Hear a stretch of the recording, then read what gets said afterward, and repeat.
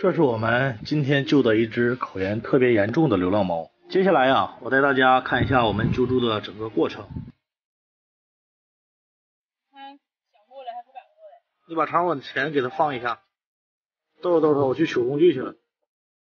这只猫的警惕性啊特别的强，当你稍微靠近它一点啊，它就会用爪子来攻击你。这只流浪猫啊，不单单有口炎，而且它身上呢全部都是皮肤病。并且已经瘦的皮包骨了，用温柔的手段去抓，他不接受，那我只能用武力了。再往后来，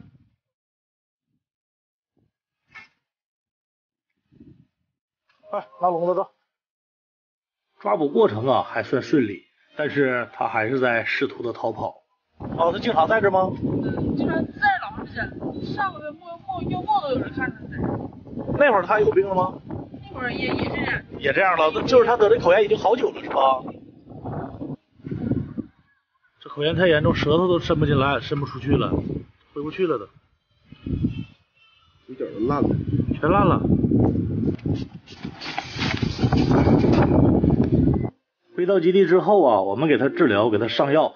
这只猫呢也是非常的不配合。经过几分钟的挣扎呀，它终于呢没有了力气。